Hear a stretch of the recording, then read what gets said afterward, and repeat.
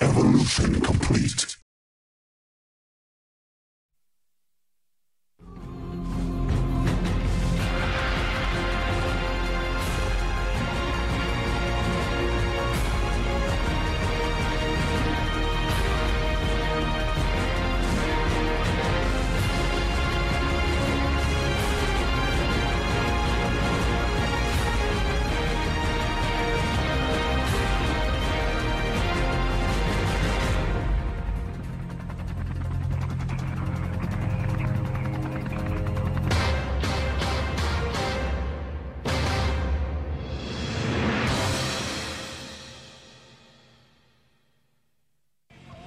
Hey YouTubers, three, two, one, zero. Stork versus Yellow Yarnak on Return of the King. This is the third round here of the round of 16.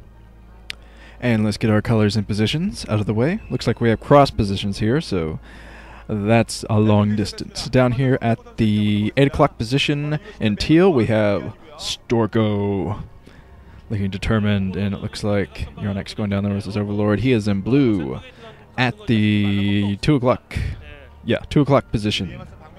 Sending down that Overlord, kind of diagonal. This is uh, kind of an interesting new strategy I've seen a lot of Zergs going for. They send down the Overlord to look for the probe, and then they instinctually try to guess where the Protoss is by just looking for the probe. So we'll see how this goes for yellow. Let's get some stats out of the way here before I put down my predictions. It looks like Stork is actually going for a pylon inside of his base. That's kind of interesting. So he is going to go gateway first. But let's get these stats out of the way.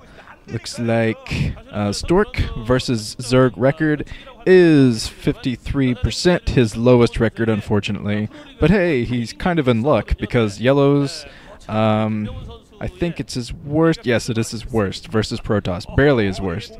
Uh, the next, oh, that's a funny picture. I like that. But his next worst is uh, versus Zerg, which is 0.06% away from his versus Protoss. He's more of a, ter- a versus Terran kind of player. Okay. There is a sign that says he looks just like Stork, which he really doesn't. But okay, it looks like they're going to see a 12 hatch from Yellow Yarnak. And Stork is in kind of a bad position in this OSL so far. I mean, he really should try to win this match as hard as he possibly can because he has already lost and uh, Yellow has already won. So Yellow is in a great position. If he beats Stork here, he's almost guaranteed to move on. Almost. We've still got quite a few more matches to go, fortunately. Let's get some predictions from the Nuka Knights. Uh, Squirrel Master, I think. One, two, three, right? Go Stork! All caps, followed by four Ks. So that's Stork. Okay. And it looks like from SC2GG Forever. Hey, I know that website. We have. Okay, his predictions are July and Yellow moving on because Bisu doesn't like Zerg lately and Stork isn't playing this well. So, a lot of people have been predicting that Stork will get knocked out of this, so I'm not sure if Stork is up to the task. This is, is his worst matchup. But at least he isn't on Tears of the Moon. At least he has that working for him. And here comes a drone scout coming into the base. Yellow wanted to get an earlier scout since he had scouted the wrong direction with that overlord. And he's getting the full scout here because Stork let that drone in. It looks like Yellow is putting down his third hatchery here. So we could be seeing somewhat of a mutalisk build from him. I'd say that's probably a very likely thing since Stork went for his gateway first. oh boy. So is that is that a chicken? Is the chicken supposed to be yellow? I don't know. Oh man, do the people actually draw that? Well, they do they just sit down and draw, and then they have it ready? Because that is amazing. But here comes Stork. Stork is getting everything warping in here. He's getting some spotting pylons around his base, going to keep those drops away. And He's trying to harass as much as he can here and get those drones, but I don't think those Zerglings are going to let him get the job done there. He is going to get a full scout in here, though. He's going to see what building that Yellow puts up next. And we'll see if that is the Spire or the Hydralisk Den. Here comes the Stargate for Stork. Um, I'm not sure what Yellow is thinking about here. Okay, there's a Hydralisk Den, so he's put down the Hydralisk Den. And Stork's already coming in here, getting some harassment here. There aren't any troops out for Yellow at this point. So Yellow's he's going to be in a bad position here if he can't mine from that second base. A Zerg economy is very fragile. You need to be able to mine from all of your bases. And uh, throw down some Nidus Canals if you need to. Of course, you can't get Nidus Canals this early. But yeah, that's for late game. It looks like Yellow's finally bringing some Zerglings out. He's going to try to snipe that Dragoon and then take care of these Zealots.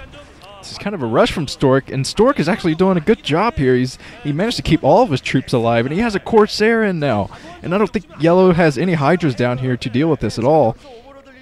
So Stork is in actually a fantastic position. He still hasn't lost a single troop. I think he is going to lose. Oh my god, look at this micro. He hasn't lost anything at all. Not a single zealot has gone down. This is absolutely amazing. Stork is stepping up his game. He definitely Oh, there's finally finally a zealot going down. And yellow is, I think he's going to try to fend this off. But Stork, all he has to do is protect the Corsairs. He can just go around sniping Overlords as much as he wants. Because Stork has to run out of there. He has to protect his Corsairs from the Hydralisks. And now Stork is putting down his own expansion, so he's going to try to get the economic advantage there. Oh man, such nice micro. He's protecting units very, very nicely in this. Okay, there went Zealot went down. As soon as I say that, I think I jinxed him. And uh, I'm not sure what Stork is doing here with his Hydras. I mean, not his Hydras, but his Corsairs. He's hovering them right next to the Hydras. He should go around looking for Overlords at this point. And he is going to try to snipe this. I don't think that's going to be too successful. He's going in with another Dragoon. He's going to try to snipe some more Overlords here. He's still bringing in his army. This is a brilliant strategy from uh, Stork. All he has to do is just protect his Corsairs from Hydra fire.